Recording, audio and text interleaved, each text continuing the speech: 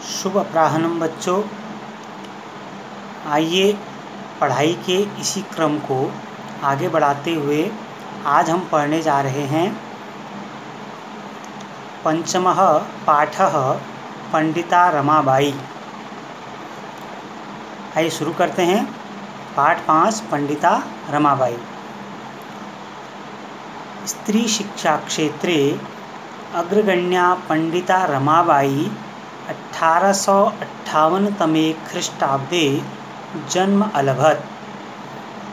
स्त्री शिक्षा के क्षेत्र में अग्रगण्य, यानी सबसे आगे जो रही, पंडिता रमाबाई का जन्म 1800 सन अठारह सौ अट्ठावन में हुआ। तस्याः पिता अनंत शास्त्री डोंगरे, उनके पिता अनंत शास्त्री डोंगरे, उनका नाम था अनंत शास्त्री डोंगरे माता च लक्ष्मीबाई आसीत् और माता लक्ष्मीबाई थी। तस्मिन् काले स्त्रीशिक्षायाः स्थितिः चिंतनीया आसीत्। उस समय उस समय में स्त्री शिक्षा की स्थिति स्थिति जो थी, उसकी जो दशा थी, वह चिंतनीय थी। स्त्रीणां कृते संस्कृत शिक्षण प्रायः प्रचलित नासीत्। स्त्रियों के लिए संस्कृत शिक्षण यानी संस्कृत को पढ़ना प्रायशः प्रचलित नहीं था, यानी अधिक प्रचलित नहीं था कि स्त्रियों को संस्कृत पढ़ना चाहिए। किंतु डोंगरे रूढ़िबद्धां धारणां परित्यज्य स्वपत्नी संस्कृतम अध्यापयत। किंतु जो डोंगरे महोदय थे, रमाबाई के पिता, उन्होंने इन रूढ़िवादी प्रथाओं को, जो पहले से प्रथाएँ चली आ रही हैं, इस प्रकार की उन प्रथाओं को, उस, इस प्रकार की धारणाओं को त्याग कर स्वपत्नी अपनी पत्नी को संस्कृतम अध्यापयत संस्कृत उन्होंने पढ़ाई। एतदर्थम सह समाजस्य प्रतारणाम अपि असहत। इसलिए इस कारण से उन्होंने समाज की अवहेलना को भी, समाज के अनादर को भी, समाज के विरोध को भी असहत सहा। अनंतरम रमा अपनी स्वमातु संस्कृत शिक्षा प्राप्तवती और बाद में रमा ने भी अपनी माता से संस्कृत शिक्षा प्राप्त की। कालक्रमेण रमाया पिता विपन्न संजात। कालक्रमेण, यानी जैसे जैसे समय बीतता गया तो रमा के जो पिता थे, वह विपन्न जाता, यानी उनकी मृत्यु हो गई। तस्या पितरौ ज्येष्ठा भगिनी च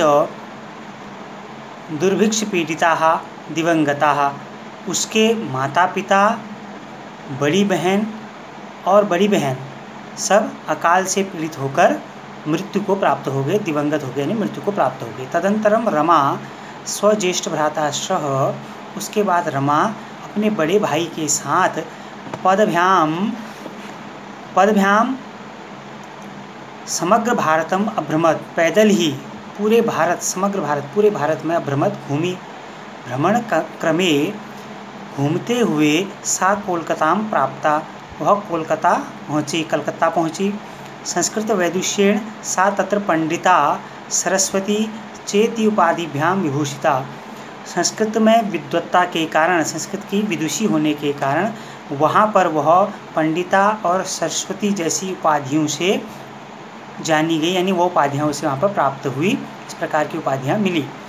तत्रैव सा ब्रह्म समाजेन प्रभाविता वेदाध्ययनम अकरोत। वहीं पर वह ब्रह्म समाज से बड़ी प्रभावित हुई और उन्होंने वेदों का जो है वहाँ पर अध्ययन किया।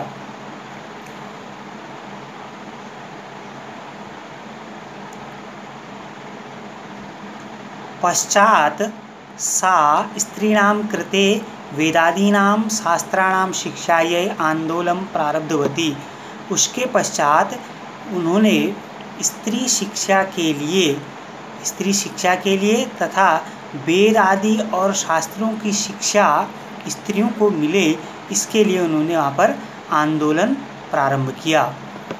1880 तमे ख्रीष्टाब्दे, सन 1880 में सा विपिन बिहारी दासेन सह उन्होंने विपिन बिहारी दास के साथ बाकीपुर न्यायालय बाकीपुर न्यायालय में कोर्ट में विवाह अकरोत् विवाह किया। सार्धेक वर्षात अनंतरम तस्या पति दिवंगत हो और विवाह के सार्ध एक वर्ष यानी डेढ़ वर्ष बाद ही उनके पति की भी मृत्यु हो गई।